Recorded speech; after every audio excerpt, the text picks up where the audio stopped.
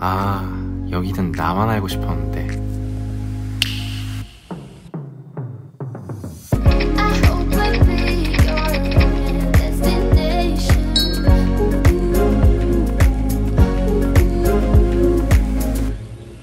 아름다운 한라산 반영샷을 찍을 수 있는 곳은 바로 70리 시공원입니다. 70리 시공원은 서귀포에 위치하고 있고 주차하기도 굉장히 수월한데요. 이전에 매화가 있는 곳으로 제가 소개했었습니다. 그리고 천지연 폭포까지 볼 수 있으니까 그 점 잊지 마시기 바랍니다. 하지만 70리 시공원에서 가장 매력적인 장소는 바로 이곳인데요. 주차장에서 오른쪽 방향으로 길을 따라서 들어가다 보면 공원 안에 작은 호수같이 만들어 놓은 곳이 있습니다. 바로 이 계단이 보인다면 정확히 가고 있는 것 맞습니다. 계단을 쭉 따라서 끝까지 가면 되는데요.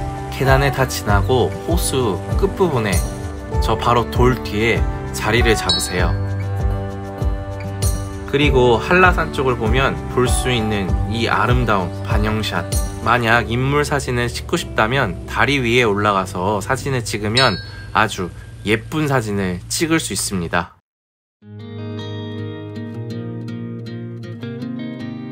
한라산 반영산을 찍기 전에 저는 먼저 일출을 보고 왔습니다. 삼방산 옆 사계해변 쪽에서 아름다운 형제섬 일출을 볼 수 있는데요. 저는 일출 30분 전에 도착했습니다. 형제섬 일출의 매력은 섬 사이로 떠오르는 해를 볼 수 있는 것인데요. 도착하면 보통 사진 찍는 분들이 계시기 때문에 그분들을 찾으면 정확한 포인트를 알 수 있습니다.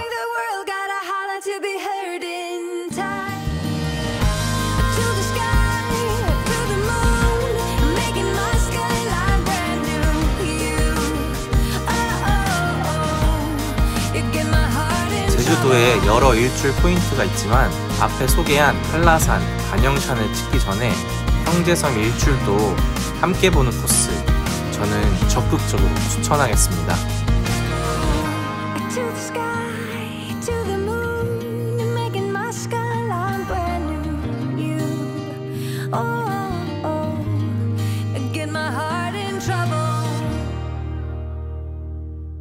아 그리고 맛집은 세 군데 정도 추천할 수 있겠는데요. 자세한 내용은 제가 댓글에 남겨놓겠습니다. 그 다음으로는 남원 큰엉 해안으로 가보겠습니다.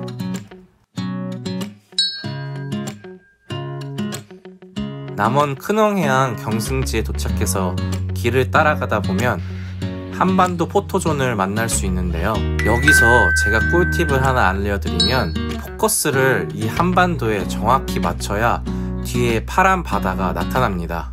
특히 혼자 여행하시는 분들은 이곳에서는 꼭 다른 분께 포커스를 맞춰서 찍어달라고 부탁하시기 바랍니다. 그리고 바닷가로 나오면 숨겨져 있는 포토스팟이 있는데요. 이 밑으로 내려가면 찾을 수 있습니다. 내려가는 길이 조금은 힘들 수도 있습니다.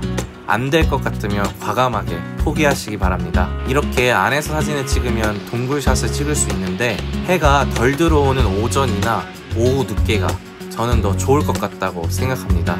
동굴샷 하면 또 빠질 수가 없는 포인트로 가보겠습니다. 오늘은 녹차 한 잔이라고 검색하고 찾아가시면 되는데요.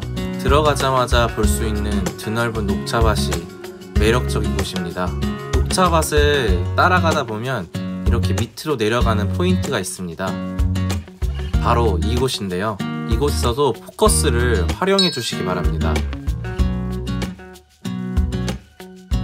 포커스를 활용한다면 이렇게 더 멋진 동굴샷을 찍을 수 있습니다. 그리고 올라오다 보면 녹차밭 위로 한라산이 보일 텐데요. 이 장소도 사진 찍기 아주 매력적인 장소이니까 잊지 마시기 바랍니다.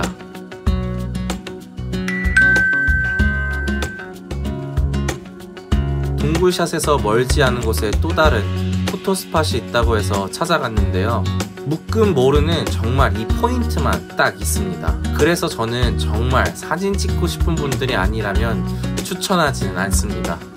길을 못 찾으시는 분들이 있었는데 왼쪽에 공사장이 있는 이 길을 따라서 쭉 가시면 볼 수 있습니다. 그리고 마지막으로 신창 통차 해안도로를 추천하겠는데요. 이곳의 포토스팟 포인트는 바다 위를 걸을 수 있는 이 길을 따라가시면 됩니다. 그 길을 따라가게 되면 바다 위에 포토스팟이 있는데요. 바로 이곳에서 멋진 사진 찍어보시기 바랍니다. 제가 제주에 여러 포토스팟을 추천해 드렸는데요. 이 영상 꼭 확인하시고 즐거운 제주 여행 하셨으면 좋겠습니다. 그럼 다음에 만나요. 안녕.